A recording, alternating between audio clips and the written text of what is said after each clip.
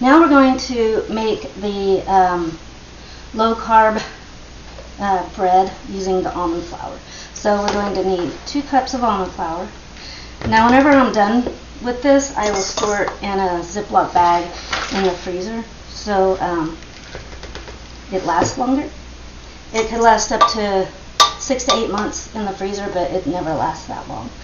All right, so there's two cups of the almond flour. Then we need um, a quarter cup of psyllium husk. Now, um, th- these are the flakes, but it says powder. But um, you can get these anywhere. Uh, but I'll put a link in the description for you uh, for Amazon. But psyllium husk is very good for you. Uh, it helps with digestive health. And then we're going to add a tablespoon of baking powder, and a half teaspoon of mineral salt, and um, quarter cup of coconut oil that um, you measure it out um, solid and then you melt it so that it mixes in. And then we're going to add um, four large eggs.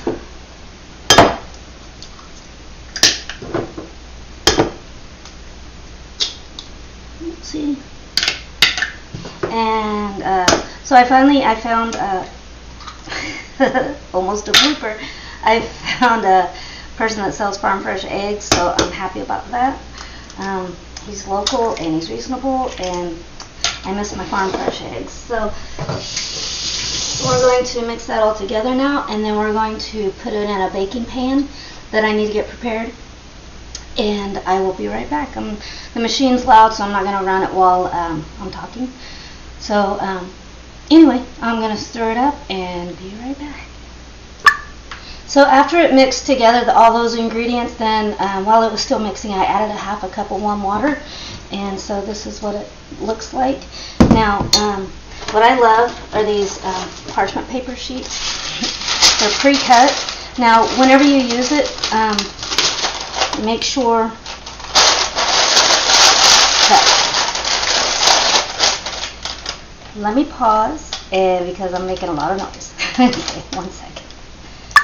So I read online the other day that um, if you are working with parchment paper, if you get it wet and scrunch it up, then it will um, be easier to work with. And it looks like it's very true because it's more flexible and pliable. So anyway, we're going to pour, I'm going to spray it first. Now the wrinkles at the end are going to make the ends not so pretty, but whatever and um, because you know we're gonna eat them anyway, right? And then we're just gonna pour this in here. Now I use a taller loaf pan, bread pan, um, so that it makes it taller for sandwiches because the little short loaves don't really work. Um, and then we're gonna bake it at 400 for 55 to 70 minutes. I'm sorry, 350. Bake it at 350 for 55 to 70 minutes. So we're going to start checking it at, um, at 55 minutes and see how it goes. Alright. It's my uh, week of prep, or day of prep for the week. So I am making the deviled eggs that I made uh, in the previous recorded video. And so you can check that out and how to uh, make the um, easy peel um, boiled eggs in the uh, pressure canner or Instapot. So uh, check out those two videos and um, I'm going to make my deviled eggs now. Ta-da! Deviled eggs are done. Alright. I just wanted to show you that. We still got 35 minutes to go on the bread.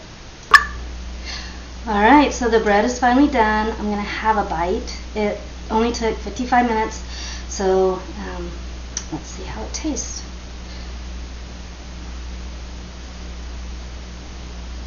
They're good. It'll taste um, better when it cools, a little warm. Um, but let it cool completely, and then you just lift up the parchment paper and set it out. I think I might go ahead and do that now.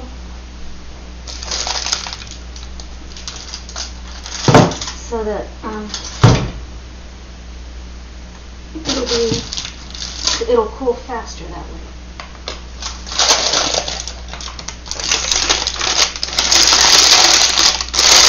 Alright, so there is your low carb almond flour bread that you can um, enjoy with sandwiches or by itself or just with butter on it.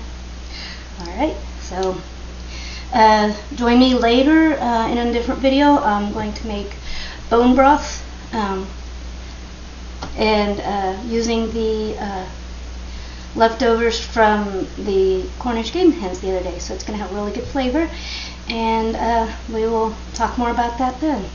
Alright, thank you. Uh, remember to like and uh, subscribe, subscribe, subscribe.